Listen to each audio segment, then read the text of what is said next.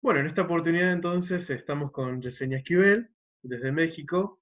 Eh, eh, la invitamos para que nos compartiera acerca de, bueno, de cómo es su, visión, las perspectivas que tiene, tanto profesionales como humanas, acerca de, cómo ve la situación de su país, de México, y también cómo ve la situación del mundo, incluso cómo, el, cómo aquellas cosas que están sucediendo en el mundo también afectan eh, a la sociedad mexicana. Así que bueno, es un placer estar contigo y que, nos cuentes entonces tu, visión. Y muchas gracias por estar.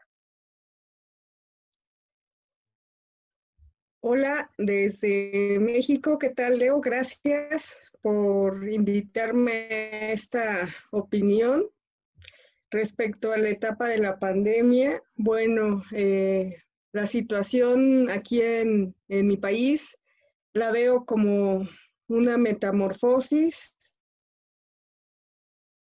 como una desintoxicación eh, que está pasando en todos los aspectos, económico, social, político.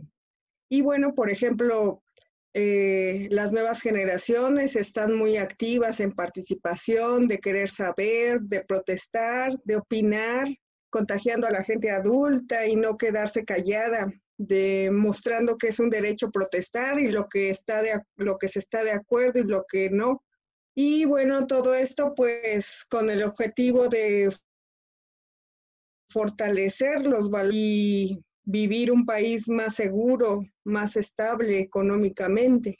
Y pues a nivel mundial, eh, mi perspectiva es pues un cambio, estamos pasando en un cambio total, en el cual se pues, no solo, como había comentado, eh, es en lo económico, también es en lo espiritual, también es, vuelvo a repetir, lo social y político. Eh, pues ahorita como punto central del planeta es el que se encuentra en la fase de vulnerabilidad, en el cual pues nos toca ingeniarnos de cómo reinventarnos para poder sobrevivir ante esta fase de, del COVID-19 en que hay que esquivarlo para continuar con los proyectos de vida que cada ser humano tiene. Y ya que el tiempo pasa y, y tenemos que continuar sin detenernos y esta, y todo sigue Está bien, bueno. Y con respecto a qué cosas vos crees a futuro que van a influir sobre las sociedades que vienen, ¿cuáles son esas cosas que, vos crees que van a influir en el futuro? Eh, lo que va a influir a futuro, considero que va a ser el trabajo en equipo. Eh,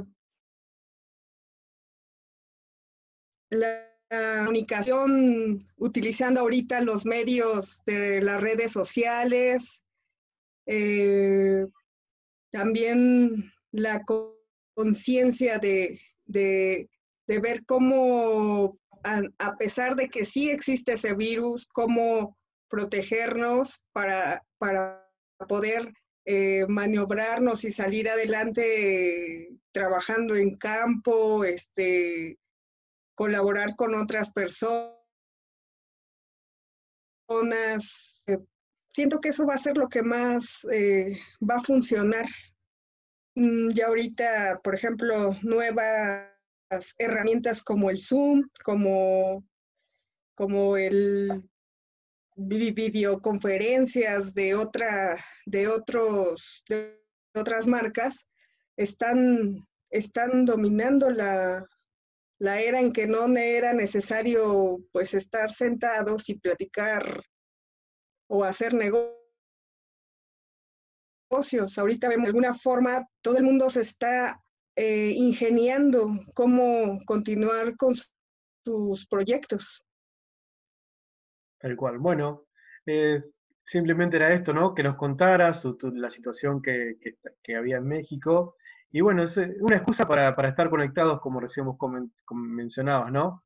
Así que bueno, yo te agradezco muchísimo eh, tu tiempo, agradezco, agradezco tus palabras y seguramente en otra oportunidad seguiremos en contacto y te volvemos a pedir otra sugerencia y, bueno, utilizar tus conocimientos para que nos puedas compartir todo aquello que, de la cual sos profesional. Así que bueno, muchas gracias Yesenia por, por estar en, esta, en este espacio. Gracias a ti, Leonardo. Y... Bueno, muchas gracias.